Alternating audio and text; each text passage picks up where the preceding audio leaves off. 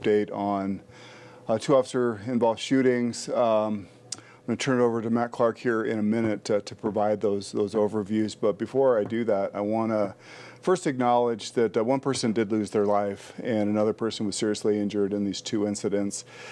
And also, these two incidents, I think, illustrate the challenge that we face here in Denver with uh, far too many guns in our community, individuals that uh, are inclined to, to use them. And I think it also uh, highlights the, the importance of our officers wearing their safety equipment while they're out uh, serving their uh, community. Uh, so uh, I understand that you all have had an opportunity to, to view the video, and we'll certainly take uh, questions at the end. So, Matt.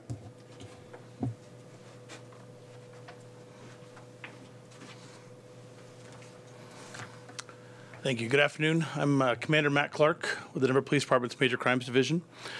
I appreciate you being here and giving us an opportunity to provide an update on the two officer involved shooting incidents that occurred on Wednesday, June 7th, 2023. Um, just for order, I'll run through the first incident in its entirety, show some still photos, answer any questions, and then we can transition into the uh, other uh, incident as well, and Chief Thomas will be available. Uh, this is intended to be a follow up briefing based upon information that we've gathered for, after interviewing witnesses, uh, allowing the officers time to heal and recover so they could provide an interview to the investigators, as well as analyzing evidence that was collected at the scene.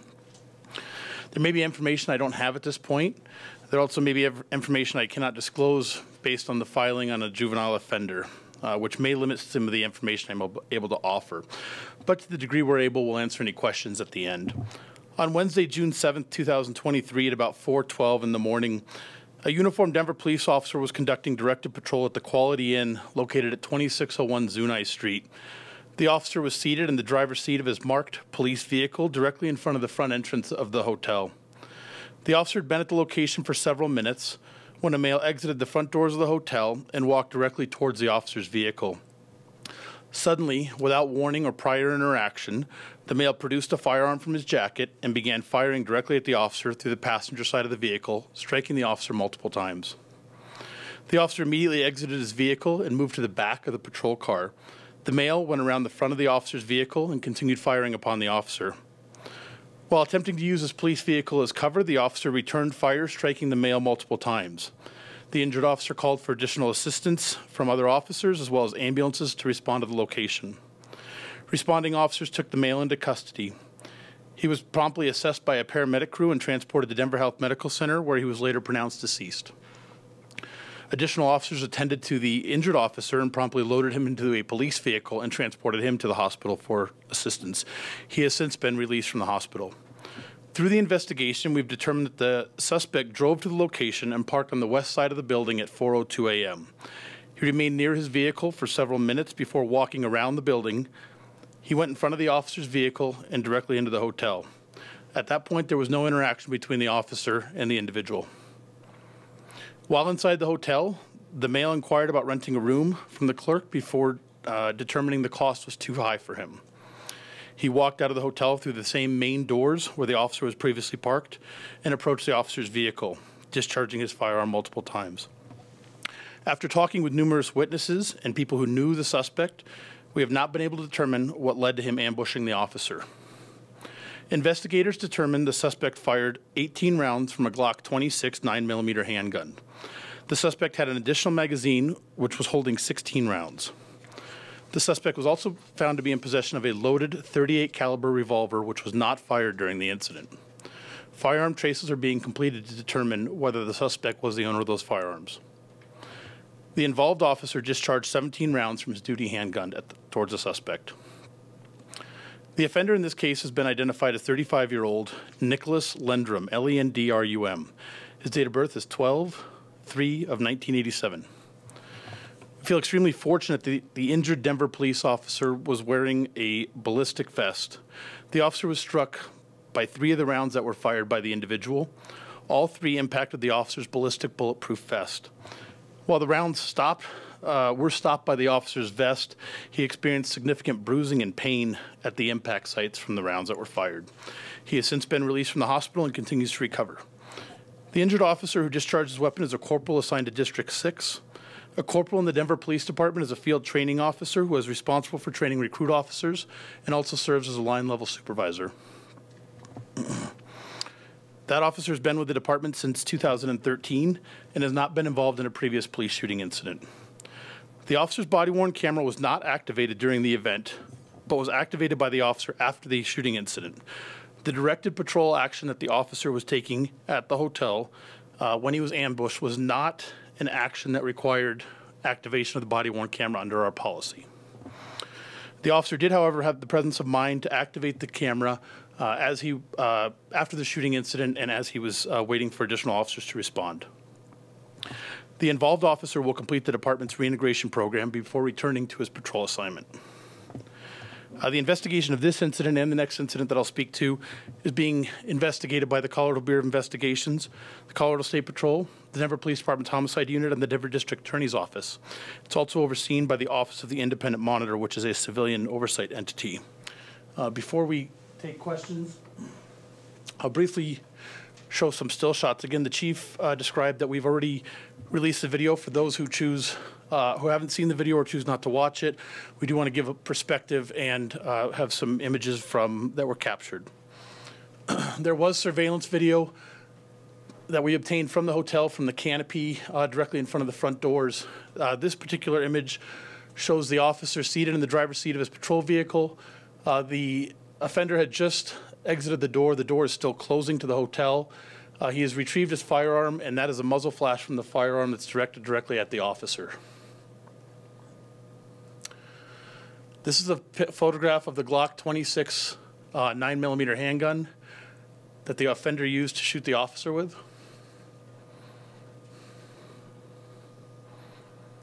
This image is the revolver that he had, again, not fired during the incident. I'd like to provide a photograph of the officer's vest. Um, there's two specific defects noted in the vest that were impacted by bullets. It's this middle one in the vest here, and then the one in the upper right. Uh, this defect here is just a tear, and it was not associated with this incident. But the, this would have been the back panel of the officer's vest.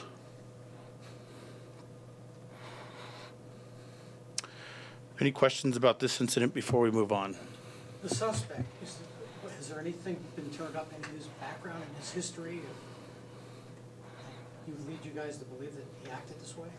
Again, we've we've talked to uh, roommates, uh, people who, who knew him, uh, and nobody's been able to give us a, a reason, a cause for him ambushing the officer that day.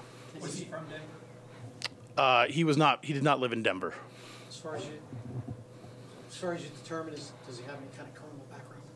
Um, I'm not clear on specifically his criminal background, and typically we don't speak to those during these sessions. When you say Denver, is from Colorado? He he does have residence in Colorado. Can you say which town? Uh, I'm not positive. I don't want to. So the wounds were to the officer's back. He had two. He sustained two injuries to his back and one to his uh, front, uh, lower abdomen area. So who's that probably? The initial and then maybe rolling to get out of the vehicle? That's what we suspect. That the initial one impacted the officer on the front, and then he, as he rolled and, and moved to get out of the vehicle, that he exposed uh, his back, and that's what would have been struck by the uh, offender's gunfire. And Commander Clark, you're saying all the bullets hit that vest, is that correct? That's correct. And they were all fired while he was in the car? Uh, we believe so. Now there are there are rounds. There's gunfire that you'll see from the video as the officer is exiting the vehicle and trying to move to the back. Um, but the best of the officer recalls that those were impacts were while he was in in the car and exiting the vehicle. When he called for backup, how many officers responded? I'm not sure. And do you know what the response time was? Immediate. That's a, an immediate call for help. Right, were the, and there were officers nearby?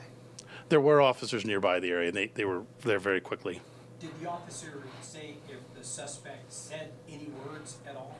Uh, when we spoke with the officer there, he described having no interaction, uh, no verbal exchange with the individual at any point. Why was there a directed patrol at the Quality Inn? I think that's what you call it, a directed patrol? Yeah, the officers were doing specific patrol there. It's it's somewhat of a routine patrol uh, for the safety uh, of the residents there, for the for the community. It's just that time, 410, uh, that time in the morning, um, is typically a lower call load, and the officers are providing specific patrol in, in different areas. Are they asked to go sit somewhere when, there might be potential problems? Or why is a directed patrol asked for in the first place? So I- I, think it's fair to acknowledge that that particular location is being used as a temporary uh, emergency shelter for migrants, um, but it is also an active uh, hotel. And so, um, in, in working with other city entities, we are providing uh, extra patrol at that location.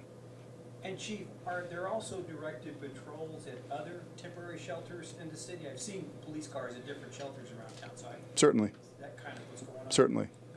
Was there any elevated criminal activity in that area in addition? No. Okay. No, I think it's just a precaution that we're taking for the safety of the migrants as, as well as the safety of the community. So, thank you. Go ahead. Thanks, Chief.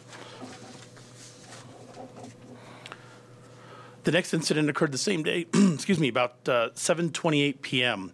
Uh, on Wednesday, June 7, 2023, uh, just before 7:30, Denver police officers received a shot spotter alert indicating seven gunshots had been fired in the area of Martin Luther King Boulevard and Dexter Street. Shortly after that call, uh, or that notification, a call was received by the communications center from a caller who reported hearing shots fired in the area as well. Officers promptly responded to that call and located spent shell casings in the alley, as directed by the shot spotter alert. While investigating for damage and injuries from the gunfire, the officers were flagged down by a citizen who advised he observed uh, the individual who was firing a gun. He specifically described that person as a black male wearing red pants who was in the company of a black female. That individual advised the officers that the two were last seen heading towards Martin Luther King Boulevard. Almost a minute after that uh, interaction, officers located a black male wearing red pants riding an electric scooter with a black female near MLK and Elm. The two exactly matched the description that was provided uh, to the officers, and the two that were contacted were in the immediate vicinity of the ShotSpotter incident. The uniformed officers and marked police vehicles drove towards the individual with their emergency lights uh, flashing on their vehicle. The officers exited their vehicle and ordered the male off the scooter that he was riding. The male disregarded the officer's commands and began fleeing on the scooter. Officers followed in their vehicle and pulled alongside the male near the baseball field on Elm Street, again directing him to stop. The male went behind the officer's vehicle and began going eastbound on Martin Luther King Boulevard away from the officers. He then cut between two multifamily uh, housing buildings and ran towards the east west alley between Martin Luther King Boulevard and Throw Place. The officers parked their vehicle at the end of the alley near Forest Street and ran towards the suspect.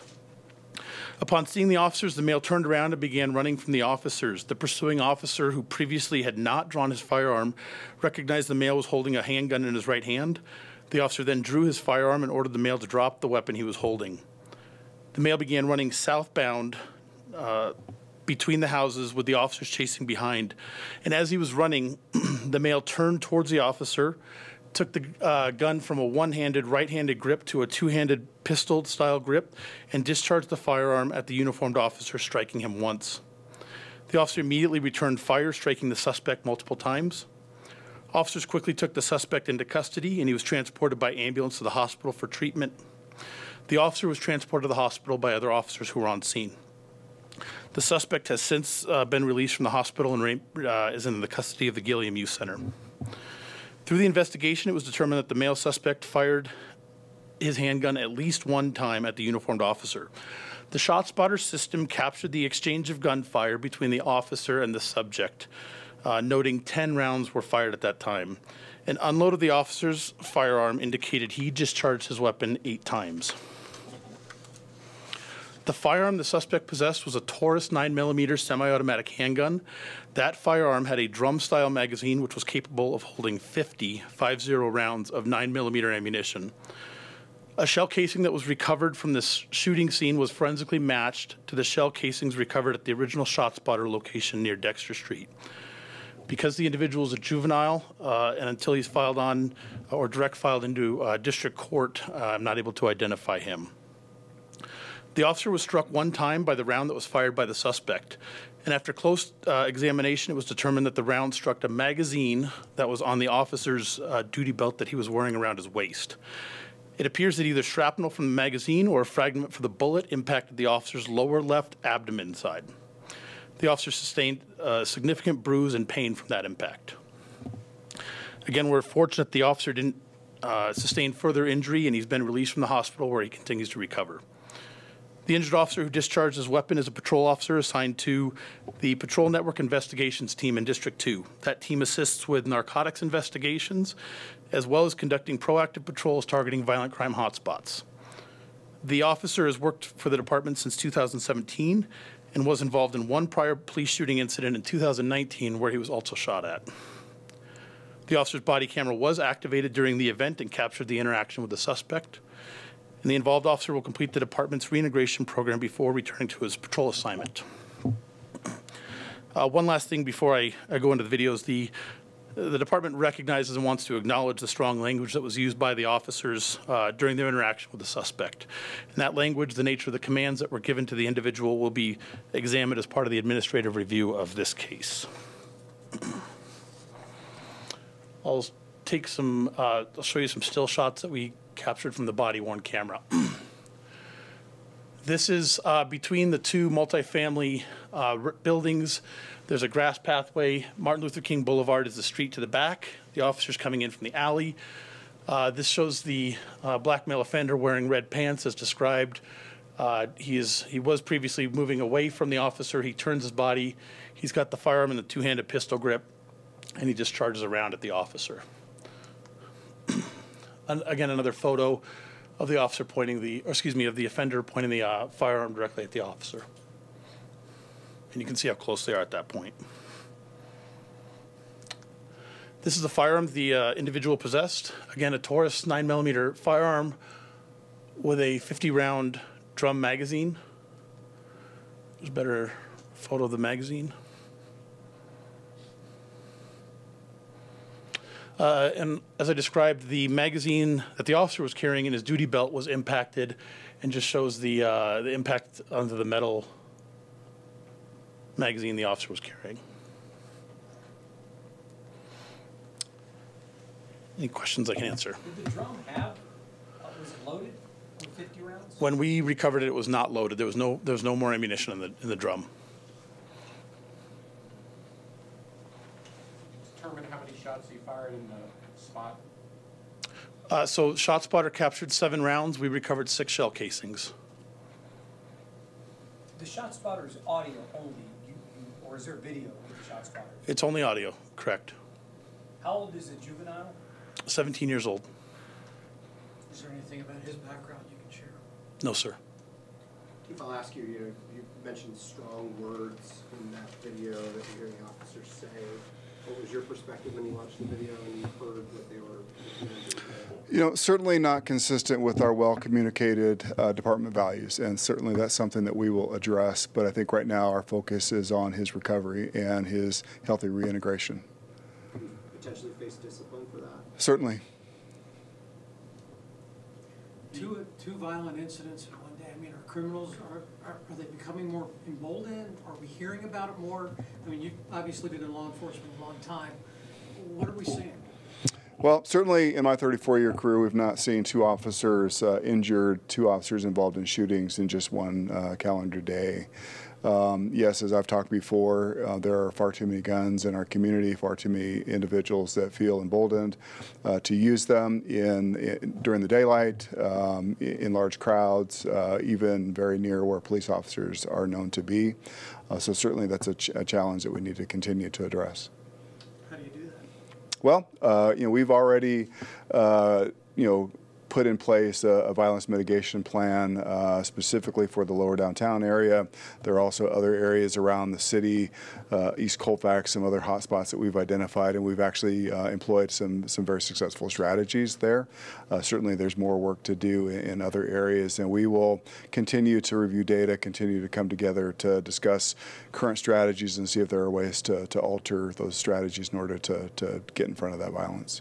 This is a strange question, but how common is it to find a gun with that kind of a drum on it? Well, more common today than it was once before, certainly. Um, not an everyday occurrence. I mean, certainly, you know, we've recovered uh, over a thousand illegal guns uh, just so far this year, um, and a handful of them had ha- have had large capacity magazines. If there was any legislation that you would push for, perhaps to make the street safer, what would that be, chief?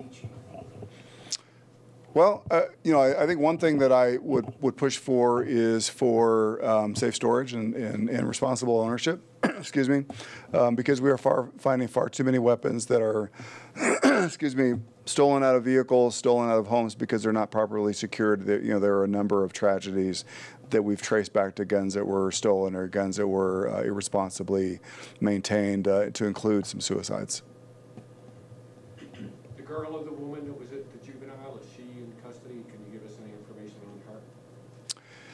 Uh, Matt, you want to talk about that? Yeah, uh, she, she is not in custody. Uh, we don't anticipate she'll face charges.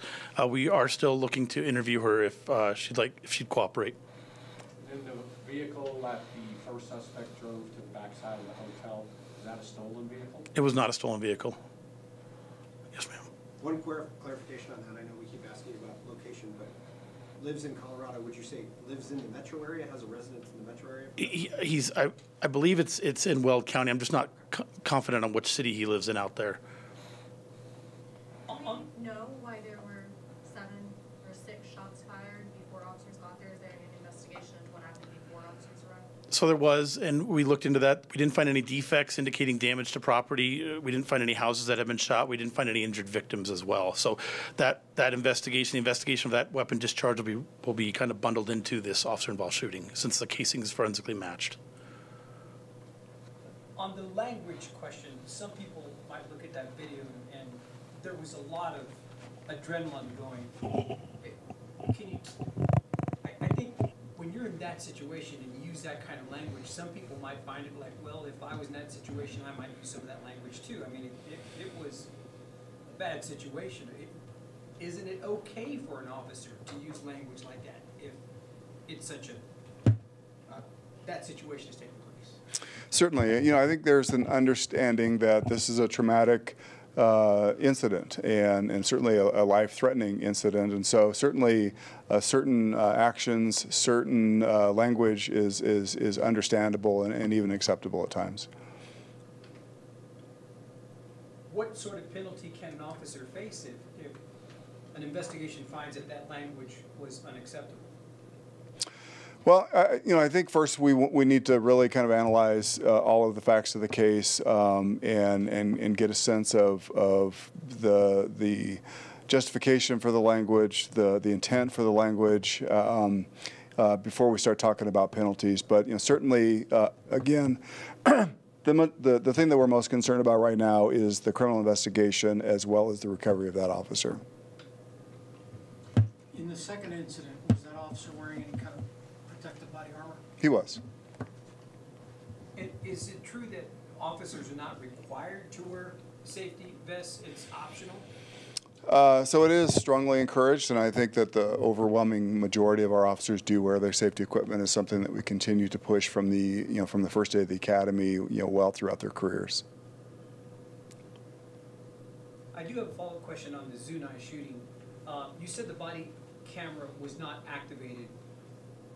Can walk me through that a little bit? You said because he was at a directed patrol? Yeah. So he was just sitting in his vehicle, and there had you know so just sitting in your vehicle on a directed patrol does not require you by policy to activate your body worn camera.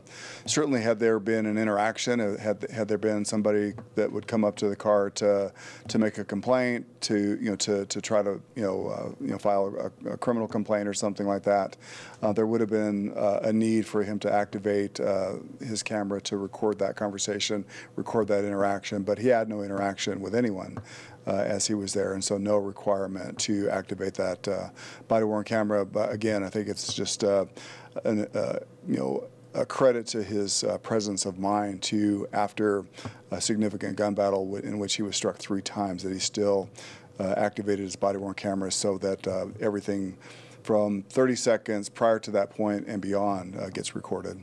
Would it be fair to say he was ambushed? I mean, that's kind of. Oh, absolutely, absolutely. I mean, there was nothing uh, that that indicated that this individual had any intent to do that. He went into the hotel, quickly came out, and immediately began shooting at the officer. Was there video inside the hotel that recorded the interaction between that suspect and whoever he spoke with inside?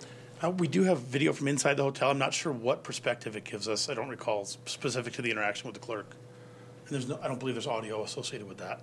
And will there be a toxicology on the, There- on being performed? Yes, that's part of the uh, autopsy and the, and the postmortem exam conducted by the medical examiner's office. We expect a toxicology, typically eight to 10 weeks.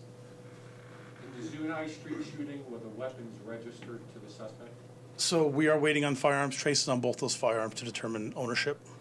Was it pretty well documented that this was a migrant shelter? Was it out there? Would the public have access to that and know about it? I don't know. I don't have the answer to that question. Obviously, uh, the city administration um, has activated that location and others as, uh, as uh, safety emergency shelters for, uh, for the migrants that are coming into our city. Um, Again, you know, other than, you know, just the, just the being able to find safe shelter for folks, uh, there's not been a significant safety challenge. And Chief, do you know if there were any threats made to that Quality Inn because of them serving the migrant population? No, no. Threats? We know where the juvenile got the Taurus from? Was there a ownership established on that weapon? Uh, Again, we're waiting on firearms traces on that, uh, but I'm not clear at this point of how he came into possession of that firearm.